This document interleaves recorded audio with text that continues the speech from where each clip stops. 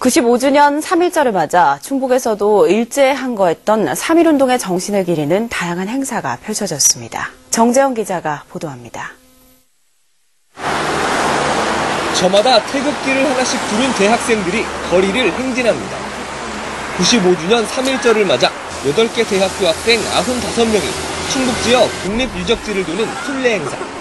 대학생이 3월 1일 날 어떤 행동을 해야 될까에 대해서 저희는 먼저 생각을 해봤어요. 3.1운동의 의미와 아픔을 우리 걸음을 통해서 표현해보자라는 순수한 의도로 기획을 하게 됐습니다.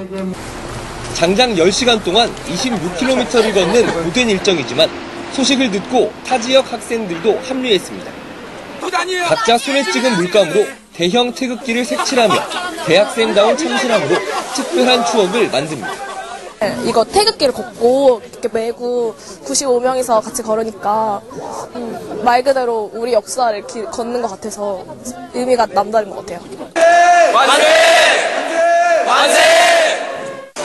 건화가 한복판에 만세 삼창이 울려 퍼지고 아름다운 오케스트라의 선율에 맞춰 합창단의 3일절 노래가 이어집니다.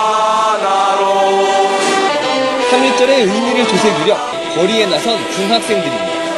방학이라서 애들 귀찮을 텐데 나라를 사랑하시는 분들을 생각하면서 이렇게 힘든데 열심히 노력을 하고 해서 정말 뜻깊은 행사였던 것 같고 친일파 민영은의 일부 후손들과의 땅찾기 소송 승소를 기념하는 동판 제막식이 열렸습니다.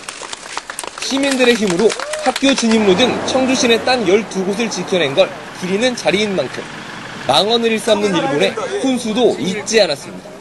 과거의 역사에 대해서 진정으로 참여하기를 바라고 앞으로 대한민국 사회에서 더 이상 친일파 또 아니면 민족 반역자 이런 사람들 없이 서로 함께 청주 예술의 전당에서는 도내 유일한 생존 애국지사인 오상근 옹등, 광복회원과 시민들이 참석한 가운데 기념식이 열렸습니다.